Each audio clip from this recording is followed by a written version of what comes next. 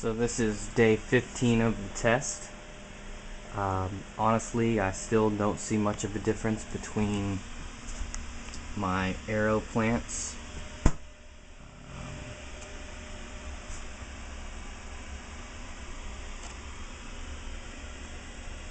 and over here, my fog plants.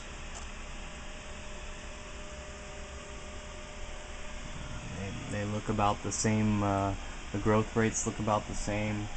Uh, the only difference that I do see, and it's very hard to get on camera, is that the root systems on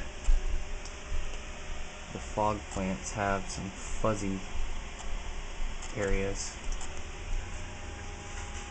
Whereas uh, the root systems on the aero plants really don't have any fuzziness to them. Uh, that one's got a really nice root system going, obviously. Uh, some of the aero plants, uh, the fog plants, have just as big a root systems, like you can see there. Uh, lots of fuzzy, fuzzy, almost hair. It is hair, basically, the roots in the fog systems.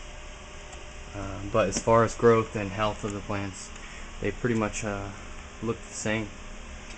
Um, the water consumption in the in the units is, is about the same. Um, the poles on this one are longer, so it looks like less water has been used, but uh, actually the water consumption is about the same. So this is uh, day 15 of the test.